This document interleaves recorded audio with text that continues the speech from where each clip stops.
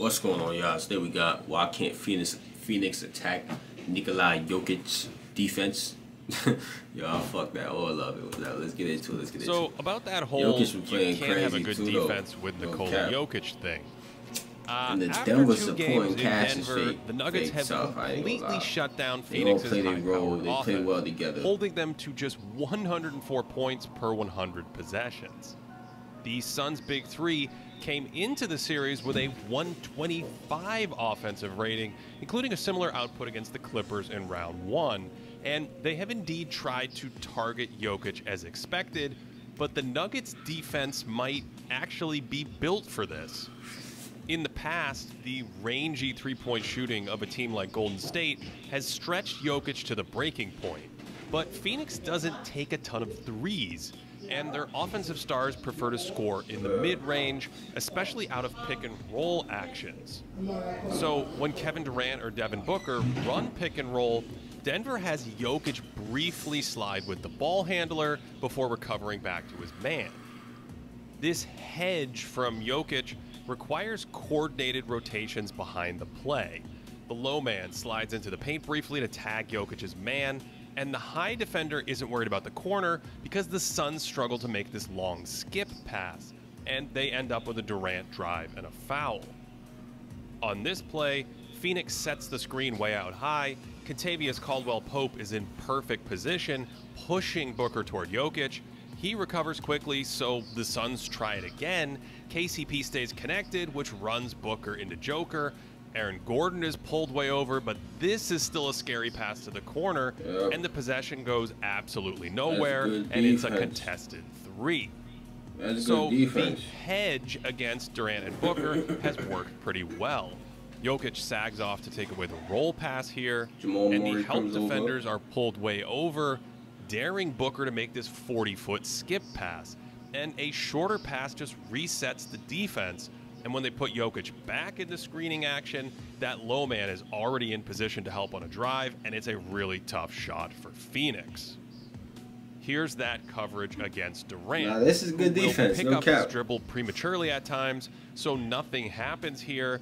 And Booker versus Michael Porter Jr. sounds good on paper, but he knows he has help with Gordon sliding off KD, which stalls the drive, and MPJ's length pokes it away, which turns defense into offense for the Nuggets. In the last video, we talked about Steph Curry dribbling in traffic under pressure and what a difference that makes in the playoffs. But neither KD nor Booker strings out their dribble like that, so they often pick it up near a second defender. And again, attacking Jokic leads to a reset.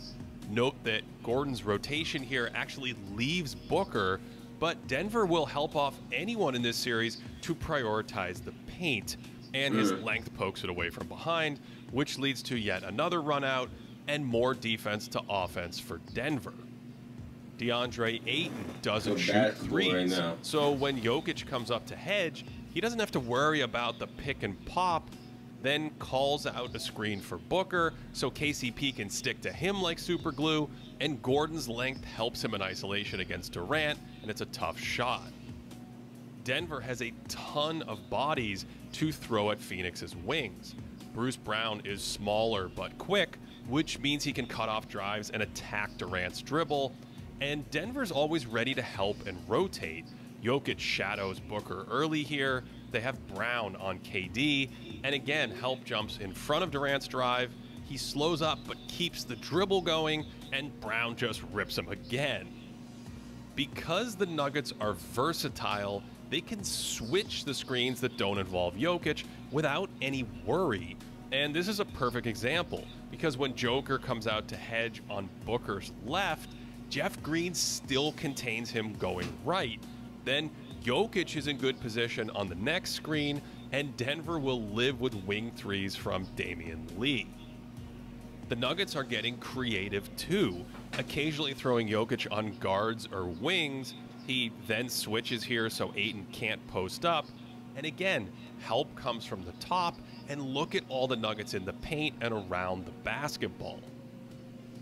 This is a quick Denver defense, and they aren't nobody's afraid to nobody's out just watching, Brown bro. overlooked. You know what I'm seeing? Nobody's just watching. Everybody's everybody's doing something, being a part of the defense, bro.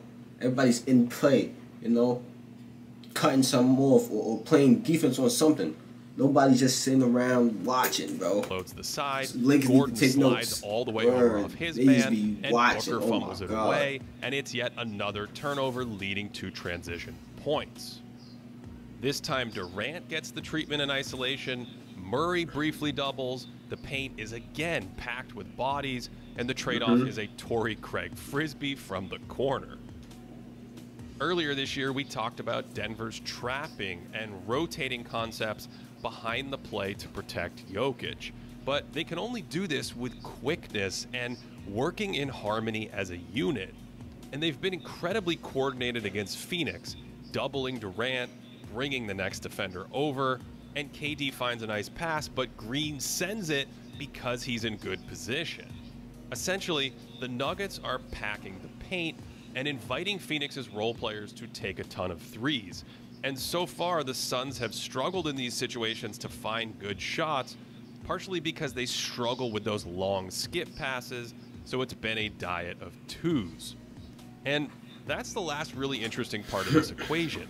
Phoenix is taking a ton of mid range shots against this defense. Most teams get more of their offense at the rim or the free throw line. Boston, Minnesota, and New York get twice as much offense from the rim or the free throw line compared to their mid rangers. But in this series, nearly half the Phoenix offense is from the mid range, which is a total outlier in the league today.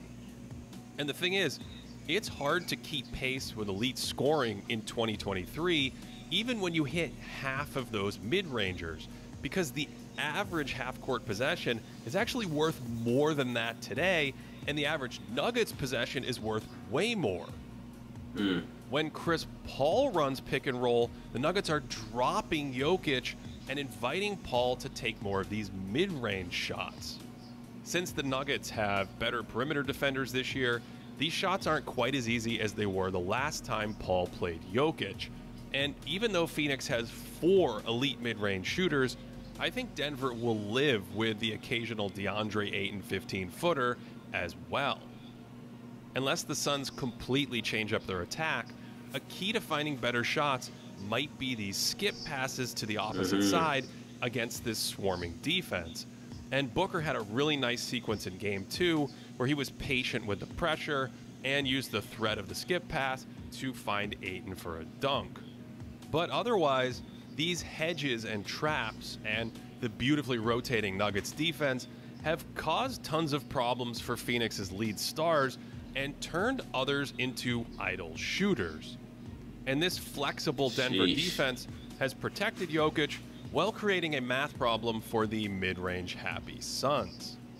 The Nuggets have a ton of interchangeable defenders who have held up in isolation, while their active help, KCP, Bruce Brown, and Aaron Gordon, have kept penetrators away from the basket, which has this wonderfully coached Michael Malone defense on the brink of the Western Conference Finals. For additional content, check out patreon.com slash thinkingbasketball. That is a great defense, bro. I'm looking at it. I'm. Sheesh, Lakers. I ain't gonna lie. I'm gonna have to go through that after these these Warriors, man.